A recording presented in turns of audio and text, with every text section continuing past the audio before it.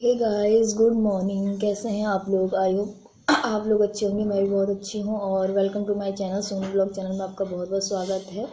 और आज है सैटरडे सैटरडे की मॉर्निंग है और मैं फ्रेश ब्रश वगैरह सॉरी थोड़ी सी गले में वो हो रही है। अभी मॉर्निंग का टाइम है।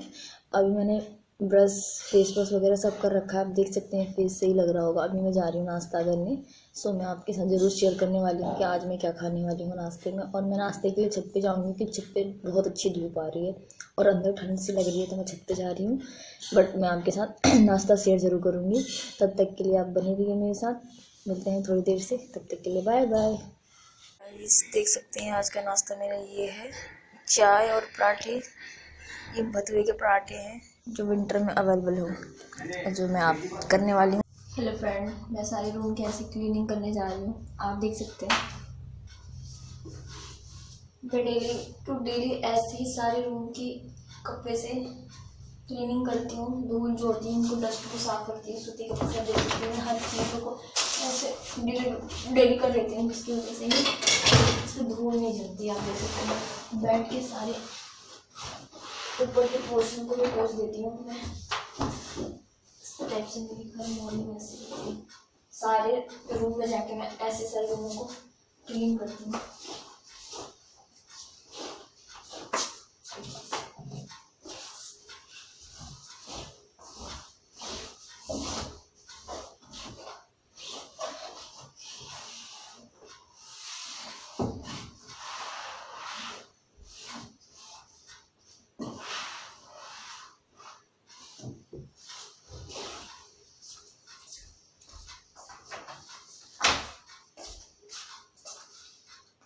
इसी तरीके से मैं सारे रूमों की क्लीनिंग करूँगी। ठीक है, तब तक के लिए मिलते हैं थोड़ी देर से, तब तक के लिए बाय हाय गाइस कैसे हैं? आई होप आप लोग अच्छे होंगे, मैं भी अच्छी हूँ और सॉरी हाय तो मैंने सुबह कर लिया था। अभी दोपहर का टाइम है और मेरा ऑलमोस्ट सारा काम हो चुका है, घर का जो होता है, और मैंने नहा लिया है और आज मैंने अपनी फेवरेट ड्रेस पहनी है। ये देखिए, ये मेरी फेवरेट ड्रेस है, मुझे बहुत अच्छा लगता है, ये वाली ड्रेस और आई होप आपको भी अच्छी लगेगी, अगर आप देख सकते हैं। आप सच में बहुत अमेजिंग लगता है, मुझे ये लुक बहुत ज़्यादा एकदम डिफरेंट लुक देता है। ठीक है, आई होप आपको भी अच्छी लगी होगी। अगर आपको ये मेरी ड्रेस अच्छी लगती है तो प्लीज़ कमेंट बॉक्स में मुझे बताइए। वैसे मैंने इसको ऑनलाइन परचेज़ किया था। ठीक है, और अब ऑलमोस्ट सारा काम हो चुका है तो मैं अपनी बातें शेयर करूँगी आपसे। बट मैं उसके सबसे पहले थोड़ा सा चश्मा लगाऊँगी, क्योंकि मॉर्निंग टाइम से मैंने चश्मा यूज़ नहीं किया है। थोड़ा मुझे प्रॉब्लम है आइज़ का। इस वजह से मुझे लगाना ही पड़ता है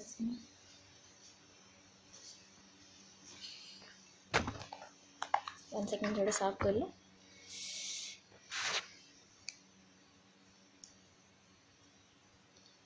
मेरी ड्रेस कैसी लग रही है? प्लीज़ कमेंट बॉक्स में बताइएगा। नहीं तो मैं आप लोगों से नाराज़ हो जाऊँगी। सॉरी मज़ाक कर रही हूँ।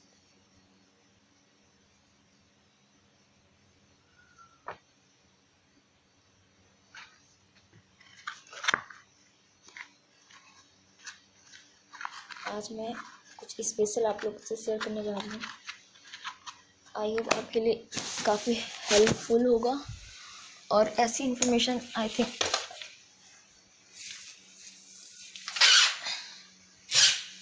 सॉरी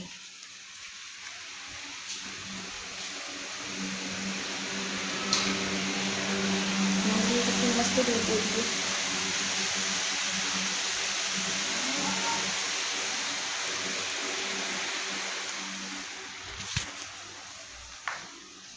और मैं आज क्या शेयर करने वाली हूँ आपसे? वन सेकेंड रुक के बता रही हूँ। कुछ कह रही थी कि मैं कुछ आज शेयर करने वाली हूँ। तो जी हाँ मैं आज कुछ शेयर करती हूँ। आपसे जो बहुत इम्पोर्टेंट टॉपिक है आई थिंक मैं भी उस टाइम पे बहुत ज़्यादा टेंस रहती थी। टेंस क्या मतलब लोग अजीब गरीब से जो कहते हैं ना कि एक तो अपना तो वो टाइम ऐसे ही मूड ऑफ़ रहता है। कभी किसी टाइप से मूड कुछ पता नहीं नहीं रहता कि अभी अभी मैं खुश हूँ, कब मैं मतलब मुझे थोड़ा सैडनेस सा आ जाएगा, कभी कुछ मतलब उस टाइम पे ना आई थिंक जो जो माँ बन चुकी हैं अभी तक मेरी सिस्टर आई थिंक जितनी भी होंगी भाभी सिस्टर वगैरह आई थिंक वो सभी के साथ होता होगा, मैं तो स्पेशली नहीं हूँ, आप लोग उस सिचुएशन से गुजर चुके हैं तो आई थिंक मैं जो आपसे कह रही हूँ, आप लोग अच्छे से समझ रहे होंगे। तो जी हाँ मैं आज वही हूँ। अपनी, अपने टाइम की जो प्रेगनेंसी टाइम की जो मेरी सिचुएशन थी, मैं आज वो आपके साथ शेयर करने वाली हूँ।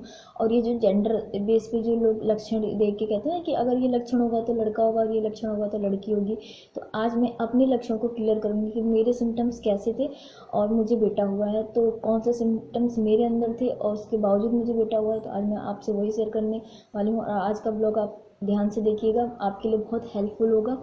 आई होप आपको अच्छा लगेगा अगर अच्छा लगता है हेल्पफुल हेल्प हेल्पफुल है तो प्लीज़ सॉरी कभी कभी ना मिस्टेक हो जाती है। यार इंसान ठीक है माइंड मत कीजिएगा बट मेरी जो आपकी बातें आप ज़रूर सुनिए, ठीक है? तो मेरे जो सिम्टम्स थे स्टार्टिंग में तो थ्री मंथ तक तो कुछ इतना ज़्यादा मुझे पता नहीं चला कि क्या है, क्या नहीं है मतलब ऐसे वैसे चला गया मतलब खाने को लेके मतलब वैसे तो मेरा ये नहीं है कि मैं अभी खाना नहीं खाती थी या प्रेगनेंसी टाइम पे खाना मुझे पसंद नहीं था। मेरी स्टार्टिंग से ही एक सेकेंड स्टार्टिंग से ही मेरे को खाने से ना बहुत एलर्जी है। मुझे सब कुछ पसंद है। मुझे घूमना भी उतना कुछ खास पसंद है। मुझे ज़्यादा मुझे पसंद है ड्रेसिंग और फुटवेयर वगैरह के मुझे बहुत शौक़ है बट मैं खाने के पीछे ना कोई कह दे कि हाँ इतना अच्छा डिश है, आप खा मतलब खाओ मतलब कहीं जाके होटल वगैरह में या रेस्टोरेंट में, कहीं भी जाके बट मैं बिल्कुल इंटरेस्टेड नहीं हूँ। हाँ मेरा मूड के ऊपर है कि हमें ये भी नहीं मैं बिल्कुल टेस्ट नहीं करूँगी। कर लेती हूँ, अगर मुझे अच्छा लगे तो मैं खा लूँगी, नहीं लगे तो नहीं है। बट जो एक वो होता है ना कि हाँ मुझे खाना है, बाहर का फ़ूड मुझे पसंद है तो ऐसा कुछ भी नहीं है। मुझे बस सिंपल खाना मिल जाए और अच्छा मिल जाए तो मैं खा लेती हूँ, ठीक है? और बट ये आज का टॉपिक नहीं टॉपिक ये है कि मेरे जो सिम्टम्स थे किस टाइप से थे। तो थ्री मंथ तक तो मुझे कुछ भी नहीं पता चला, ठीक है? जब फोर मंथ स्टार्ट हुआ था, उसके बाद मुझे कुछ कुछ चीज़ों से एलर्जी सी होने लगी थी और मुझे उस टाइम पे ज़्यादा पसंद क्या आते थे? अमरूद। अमरूद मैंने सच में बताऊँ तो अमरूद और जो संतरे हैं ऑरेंज मैंने बहुत खाए हैं, ठीक है? स्टार्टिंग से लेके एंड तक अमरूद और संतरे कंटिन्यू चले हैं जब तक अवेलेबल थे मार्केट में। और मुझे इरिटेशन उन चीज़ों से थी। एक तो मैं जैसे इस विंटर टाइम पे ही मेरा प्रेगनेंसी का जो टाइम था विंटर टाइम था पिछले पिछले साल तो इस टाइम पे पिछले हाँ इस टाइम पे मैं प्रेगनेंट थी मतलब मेरा पीरियड चल रहा था प्रेगनेंसी का टाइम चल रहा था। तो उस टाइम पे आ, साग जो अभी मैं खा ले रही हूँ बट जब मेरा बेबी था तो मुझे साग से बहुत एलर्जी थी। बिल्कुल साग मुझे पसंद नहीं था, एकदम से। मुझे इतनी इरिटेशन हो जाती थी उसकी स्मेल से भी।